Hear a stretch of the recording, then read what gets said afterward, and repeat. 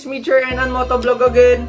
Ngayon may isi-share ako na pinaka-importante na malaman ninyo kung nagbabalak ang kumuha ng Flash R150 at B per month. Ito yung 9 issue ni Flash R150 at ni B per month. Oops!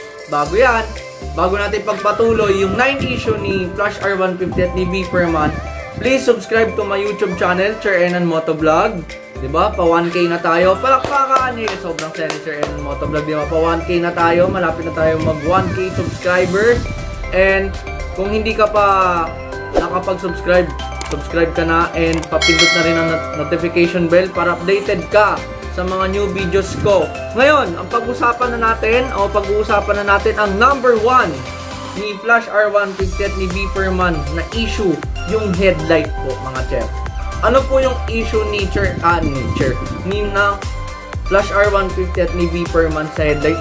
Kung napapansin niyo po, kung titingnan niyo po yung ulo ng V per and Flash R150, may makikita po kayo doon ng dalawang tornilyo. Uh, ito po yung picture, yan. Nakita niyo po yan. Meron po dyan dalawang tornilyo na nakakabit dun sa loob. Ibig sabihin yun po yung pinakalang. Ngayon, ang issue lang naman sa kanya mga chair, yung mismong duktungan ng tornilyo, pag natatagtag po yung headlight ng Flash R150 at ni B ito po ay natatanggal, napuputol. Yan. Kasi isa rin po ako sa naputulan din ng tornilyo o dun sa mismong duktungan ng tornilyo po ng Flash R150 ko. Ngayon, ano po yung ginawa ko? Uh, bumili po ako nito, ito to pandikit na to, epoxy best guard. Yan po. Uh, halagang 50 pesos lang po yan sa hardware. Tanong ninyo lang po yan. Ihalo ninyo and ilagay niyo yan. 10 minutes lang po.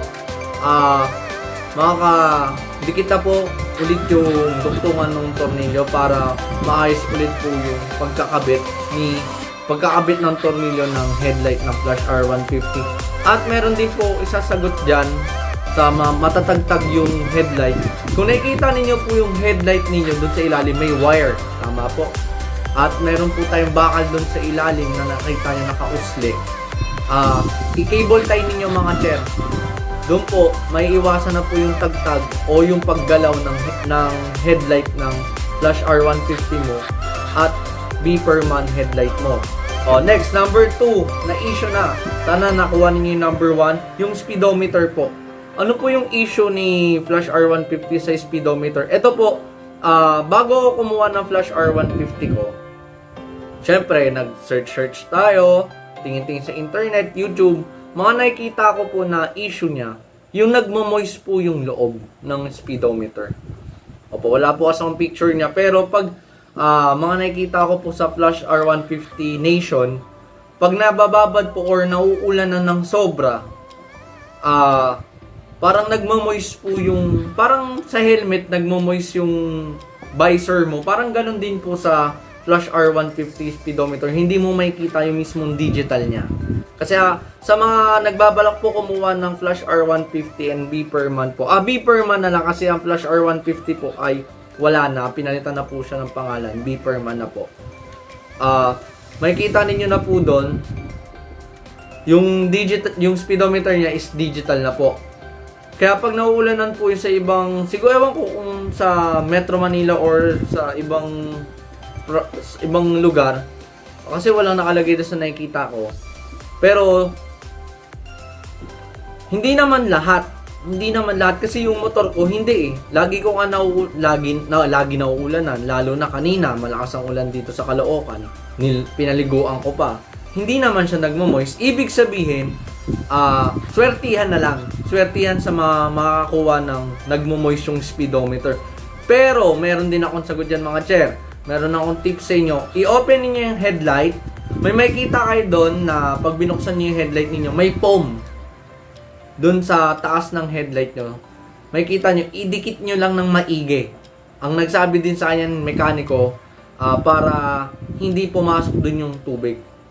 Kasi may makikita kayo doon black na foam mga chair, pag tinanggal nyo yung headlight nyo, lalo na kung nasira, natanggalan ka na rin ng tornilyo, uh, alam ko, na, nakita mo na rin yun, idikit mo lang ng maigi para kung maulanan man yun, hindi papasok dun yung tubig. Eh, at kung may bala kang kumuha, isa yan sa pinaka dap- abangan mong issue. Ah, hindi ko sinasabi na lahat, pero maging aware ka. Oh, yan mga chera. Next, number 3, yung back signal po natin, yung back signal light. Yung bakit sure, bakit naging issue yan? Para sa akin at dun sa si kay Potomoto, isa yan sa pinaka-issue na kailangan nating ah, palitan, dagdagan. Bakit palitan? Palitan mo ng LED kasi stock siya eh, na ilaw, di ba? Ah, LED ba? Oh, LED na siya. Hindi siya stock. Pero kailangan mo pang lakasan yung LED niya mismo. Kasi pag nakikita ninyo, pag naglal ah, pag nagsabay yung backlight and yung signal light, hindi po nakikita ang ating signal light. Lalo na kung paan, lalo na kung gabi na malakas ang ulan. 'Di ba? Kailangan mo na siyang palitan. Ang gagawin naman namin, magdadagdag po kami ng signal light ni Potomoto para hindi na namin papalitan yung ilaw ng backlight namin. Magdadagdag lang kami ng warning na nagsisignal ako dito sa left, nagsisignal ako dito sa right. Para maging aware naman yung nasa likod ko na motorista and yung mga nagmamaneho ng mga sasakyan ng four wheels na nagsisignal ka dito sa way na to. Kasi kung napapansin ninyo naman, sana hindi lang kami, pati kayo mga Flash R115B per user, ah, napapansin nyo na yon na ang hina sobra at nakakain siya ng ilaw ng backlight. At kung may yung nagbabalak kumuha po, yan po yung isa sa pinaka-issue na, na dapat tandaan ninyo na yung backlight po niya is mahina. At hindi nakikita ang signal light niya. Next, nandun na po tayo sa number 4. Ang number 4 po natin yung gulong o yung tire. Rear and ah, front tire po niya. Bakit naging issue? Ang issue po niya is madulas. Sobrang dulas po niya. Ah, sabi ko nga po nung pa past na vlogs ko, ah, ang gulong ng ang gulong natin is may braking period. Hindi lang po motor, pati gulong po. Pag bumili ka ng gulong na bago, may braking period 2 months, 1 month, 'di ba? Na braking period na kailangan mo magasgas siya. Pero yung Flash R150 na po natin, kahit anong braking period mo dyan sa gulong natin, ah, kakapit man yan, pero hindi ganun ka kapit. Madulas po yan. Kung ako sa inyo, pwede naman kayo magpalit ng gulong kung may pera ka naman. Pero kung wala ka pang, syempre, galing tayo sa pandemic, di ba? Ah, umaano ka pa lang, parang nag-iipon ka pa lang ng panggastos, di ba, pang sa motor. Ang masasabi ko sa inyo, ang una ninyong palitan, yung gulong. Lalo na tag-ulan, di ba? Mahirap na. Madulas tayo, mapunta ka man. Kahit anong, kahit anong kapit ng preno mo dyan, pag nadaan ka sa lumot, sa, sa buhangin, di ba? Pati sa mga something sa mga bote-bote, nakakadulas yan yun na, sabi ko sa inyo, magpalit na kayo ng tire or maging aware kayo na huwag kayo masyadong hahataw kung stuck pa rin yung gulong ninyo. Kasi madulas yan. Next, uh, RPM po. Uh, nagsabi sa akin ito is si Potomoto. Uh, yung RPM po natin, kung nasubukan ninyo na po, yung RPM, late siya. Paano siya nagiging late?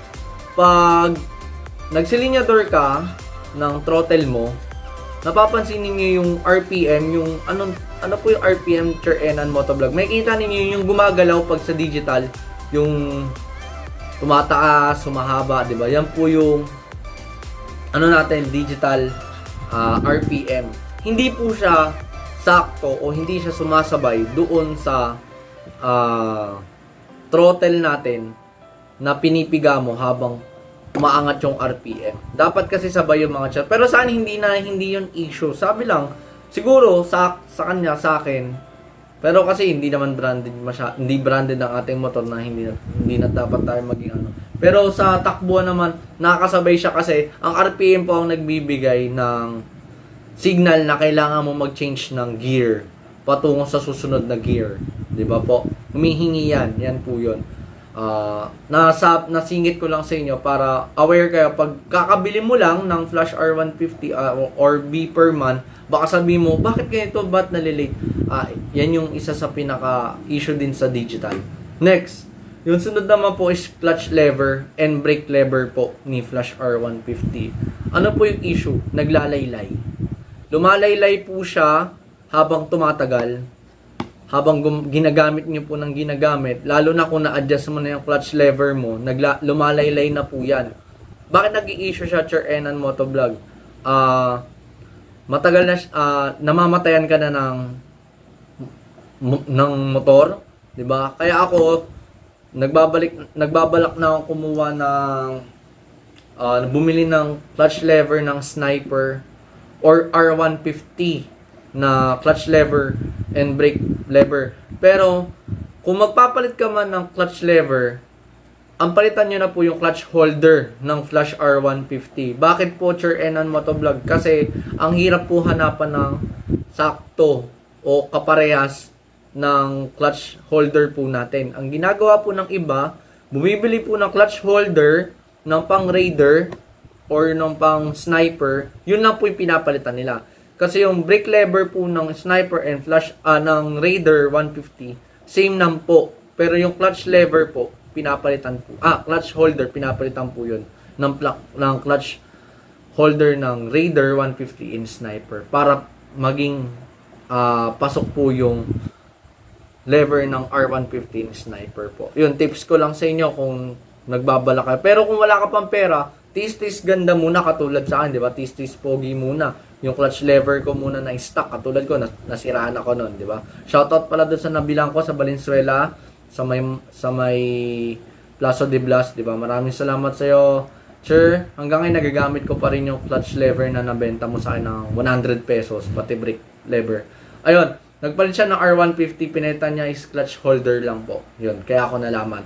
Next, ang um, sunod naman po natin is flarings. Number 7 po yun. Flarings ng Flash R150. Ba't po naging issue yan? Uh, sabi nila, issue. Sa akin din issue eh, kasi pag nagpa-tune up ka mga chair, baklas lahat yan. Hindi katulad ng ibang motor na ang tinatanggal lang yung Araro, di ba? yung fairings doon sa gilid, di ba? Kahit nga sa mga scooter, ang tinatanggal lang yung doon malapit sa makina. Hindi katulad ng Flash R150. Isang buo nyo po tatanggalin yan. Kaya naging issue siya. Kaya nakakainis po kung magpapatune up ka na hindi ka marunong magtanggal ng flarings o mag-ingat-ingat ka. Dalhin mo yan sa mis- mas maganda sa kasa, sa Mitsukoshi na nabinila, uh, kinuhanan mo ng motor, dun mo ipatanggal yan para yung warranty, nandun pa din. Kasi pag natanggal, nasiraan ka ng flarings, masakit yan, masakit sa bulsa, higit sa lahat, masakit tignan ang flarings ay nasisira, di ba? Uh, issue din yan, flarings na yan, makunat, di ba?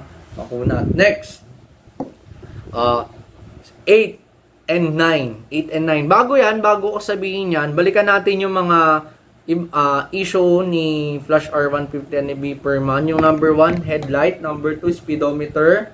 Nagmo-moist. Number 3, back signal light. Number 4, yung tire, madulas. Kahit anong pilit mo, madulas pa rin yung stock. 5, RPM, na hindi sumasabay sa pagtotrottle. Uh, 6, clutch lever, naglalaylay po habang tumatagal. And brake lever flarings, uh, isang set yan po tinatanggal. Kung matyaga ka, good. Pero kung hindi ka matyaga, kung nagbabala ka palang kumuha na mabilis ka na iirita pag dahil sa flarings, huwag ka nang kumuha ng Flash R150. Kasi isang set po talaga siya tinatanggal. Next, in 8 and number 9 na issue ni Flash R150 at ni B per month, pagsasabay ko na po, sprocket and vibrate. Bakit may pagsasabay, Sir Enan? Okay, bakit? Uh, punta muna tayo sa uh, sprocket. Ang sprocket po natin, ang rear sprocket natin, ng stock po niya is 48. Ibig sabihin, hindi po siya umuugnay sa Flash R150. Katulad ko po, nagpalit po ako ng Flash, ah, ng Flash, ng sprocket ni Flash. Sa mga nagtatanong, marami nagpi-PM sa akin, lalo na sa mga kum, uh, kumuha na na nag gusto magpalit ng sprocket, mga chair, City 100 po ang gin, uh, kaparehas po ng sprocket ni Flash R150. Pero maraming sabi na Raider daw 150. Pero parang ginawa nila ng paraan yun. Ewan ko, may something may customize doon sa sprocket. Pero ako mismo, plug plug lang po talaga. Saktong-sakto sa butas ng Flash R150 yung City 100. Opo, Ngayon, 48 po yung stock sprocket natin. 48 teeth na tinatawag. Ngayon, bakit nagbabibrate? Dahil po sa sprocket mga chair. Yan, bakit po? Dahil sobrang hindi po umuugnay yung laki ng sprocket dun sa Flash R150. Kaya po, sobrang lakas ng vibrate po ni Flash R150 mga chair. Ngayon, anong ginawa ko? Nagpalit po ako ng high high speed na sprocket. CT uh, 138 ah 40 42 teeth. 42 teeth po yung hanggang ngayon ginagamit ko 42 teeth na sprocket po rear. Yung uh, uh, yung gear sprocket po hindi pa ako nagpalit stuck pa din. Yung pinalitan ko lang po yung dulo yung likod po sa may gulong. Kung hindi nyo po alam yung rear sprocket mga, uh, mga chair yung po yung malaking sprocket doon sa likod po sa may gulong ang tawag po din si rear sprocket um, binili ko po 42 halagang 600 pesos po yun. Isang set ha, isang set. Pero, pag binili mo siya ng yun lang, yung sprocket lang sa likod, halagang mga 250, mumurahin lang naman po yun kung kayang-kaya ninyo yung mga chair, di ba? Ngayon, pag nagpalit ka ng chair, magle-less vibrate na hindi mawawala ang vibrate ha, hindi mawawala. Kasi dahil sa flarings. Kung maluwag yung flarings mo, isa yun sa nagkakos ng vibrate kung maluwag din yung pagka-tornilyo ng makina mo sa, sa chassis ng motor mo o kay flash o kay beeper man, isa din yan sa nagkakos ng vibrate. Pero ang pinaka-big issue dyan, si sprocket po talaga nagbibigay dyan. Kaya pag nagpalit ka ng, ng sprocket, please yung pang high speed na po. Yung alam nyo ng magle-less yung vibrate. Uh, pero kung alam mong hindi nagtatanggal pero nagpalit ka na, hindi po talaga mawawala yan i-check niyo yung flarings, check niyo yung engine mga tornilyo niya, igpitan niyo ng maigi. Yung mga chair. Next, uh, sana yun lang, yun lang yung 9 issues natin na ma-share ko sa inyo na napansin ko and yung mga napap nakita ko sa Flash R150 Nation na issue na shinare ko sa inyo na mga, may mga nagbabalak kumuha ng motor na beeper man pero tips ko sa iyo sa Beeperman, less vibrate na po. 'Di ba? Panoorin mo yung yung Beeperman review ko na saglitan. Puro pa ulit doon less vibrate na yun mga chair. Kasi less vibrate talaga siya. May vibrate man siya na hindi mawawala sa motor. Pero hindi, hindi katulad ng Flash R150 natin. Alam niyo yan mga Flash, Flash R150 users. Diba? Beeperman, less vibrate na yan mga chair. Ah, yun lang po. Ah, kung meron ka pang alam na issue na hindi ko nasabi mga sir, please comment below dito sa sa review ko uh, sa mga tips ko na to para maging aware din yung mga chair, eh, mga chair natin diyan, no? Na ah may ganito pa pala, 'di ba?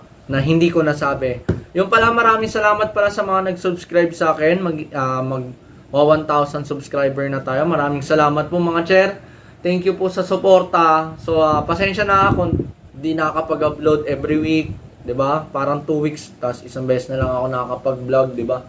Uh, siguro next uh, tatry ko, gagawin ko lahat para makapag-share ulit sa inyo lalo na sa Flash R150 and B Ferman na nagme-message sa akin na eto eto to, to, mga na review mo naman chair, 'di ba? Ah, may mga nagtatanong pa sa gas gas consumption ng ng beeper man.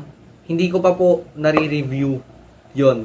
Pero ang masabi ko sa inyo, tips ko sa inyo mga chair, pag breaking period po, masakit pa rin sa bulsa 'yan. Masakit po sa bulsa ang breaking period, masakit pa po sa gas 'yan, 'di ba? Pagas ka ng pagas. Pero after na breaking period, after na 1,500 o 2,000, mararamdaman nyo, mararamdaman talaga, di ba? Mapapansin ninyo na nagtitipid na po yung Flash R Flash R150 mo and Beeperman 150 mo. Katulad ko na yung 100 ko o yung 140 ko 4 days lalo na nagagrab ako mga chair, di ba? 4 days na yon nakakaikot na 4 days or 3 days sa paggamit din kasi mga chair sa mga nagtatanong. Hindi ko kasi nasasagot sa mga nasasagot yung mga tanong ninyo kasi busy din mga chair. Maraming salamat. Ah, I hope na nakatulong ako sa inyo, lalo na sa iyo na nagbabalak kang kumuha ng Flash R150 and Beeperman. Ah, pag-isipan mo maigi, yan talaga yung basic 9 issues ni ng Beeperman and Flash R150. Ayun mga chat, thank you. Maraming salamat. God bless. Bye-bye. Ingat always.